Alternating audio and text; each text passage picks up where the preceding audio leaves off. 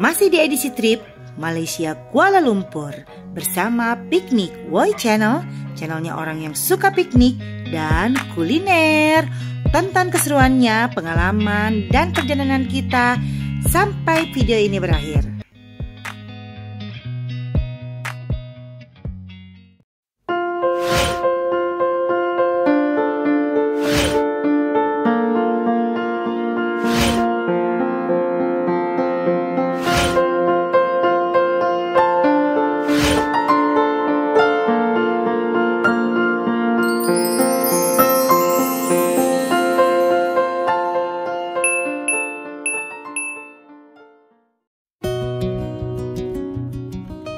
Pengalaman kami menikmati suasana malam di sekitar Dataran Merdeka, Kuala Lumpur.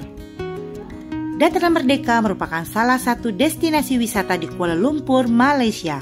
Terdiri dari beberapa bangunan kuno di satu sisi dan sebuah lapangan luas di sisi lainnya.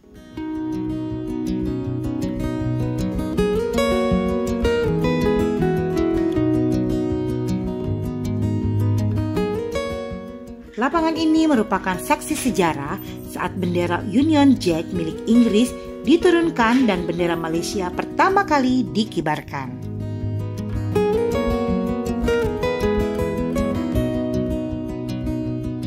Jangan lupa untuk mengunjungi Masjid Jamek yang terletak di dekat Dataran Merdeka yang juga merupakan salah satu masjid tertua di Malaysia.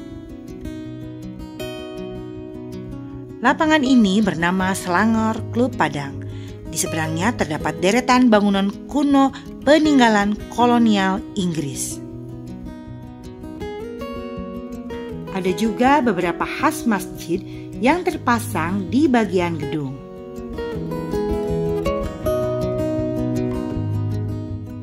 Di kawasan Dataran Merdeka juga terdapat bangunan museum, gedung galeri Kuala Lumpur, perpustakaan, juga beberapa gedung lain yang bagian atap bangunannya memiliki ciri khas kubah.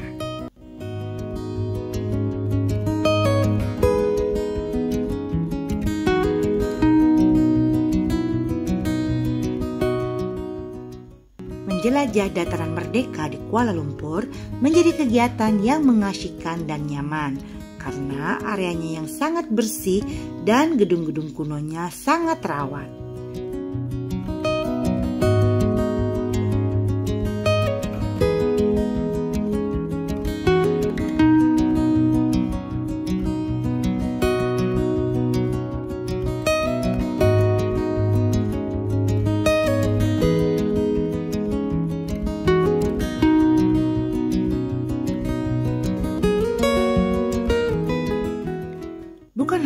Wisatawan, warga lokal juga menjadikan dataran merdeka ini communal space atau tempat untuk berkumpul para komunitas sambil menikmati suasana malam di sekitar dataran merdeka.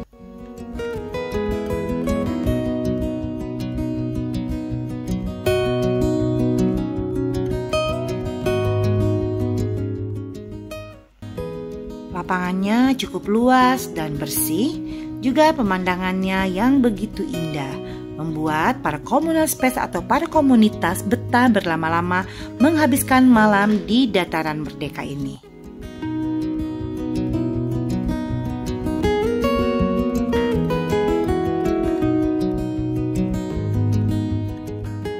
Dataran Merdeka adalah salah satu tempat yang penting dalam berjalannya kerajaan Malaysia.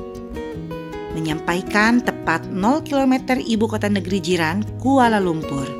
Daratan Merdeka menjadi sebuah objek wisata yang sangat menarik bagi para pengunjung dari kalangan turis asing.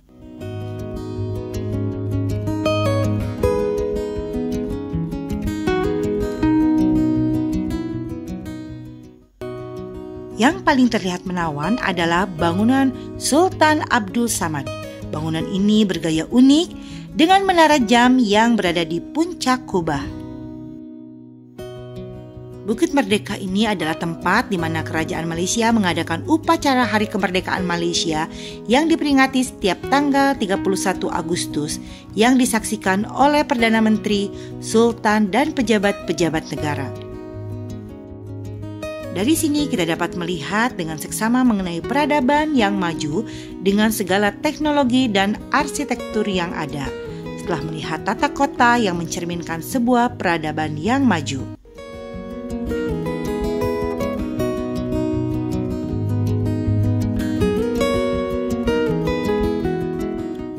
Arsitektur pada gedung yang dibangun di sekitar dan penataan kota yang rapi, tempat ini sangat otentik dengan ciri khas Melayu.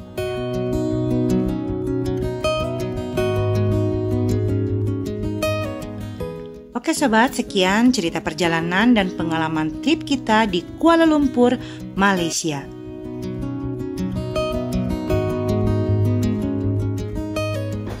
Semoga video ini menginspirasi dan memberikan informasi bagi sobat piknik semua.